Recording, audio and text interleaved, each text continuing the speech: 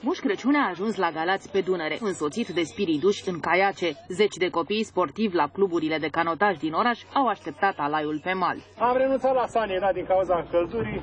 De data asta am venit cu placa și cadouri, dulciuri. Hai să le vedem. Toată lumea a fost bucuroasă de cadouri, și cei mari și cei mici. Anul ăsta a ieșit pe locul.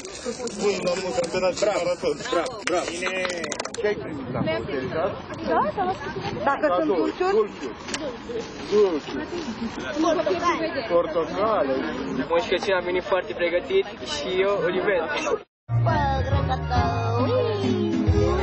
Moș Crăciun a fost așteptat și la Constanța într-o atmosferă de poveste. Zeci de copii de navigatori s-au bucurat de întâlnirea cu generosul personaj.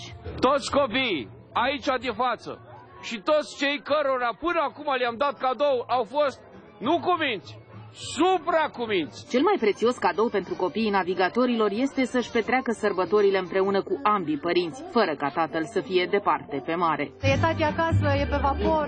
E acasă, din fericire. Nu prea îmi place cum pleacă. Este un sentiment plăcut, pentru că nu în fiecare an uh, petrecem Crăciunul uh, împreună cu familia. Astfel de întâlniri magice sunt organizate în fiecare an.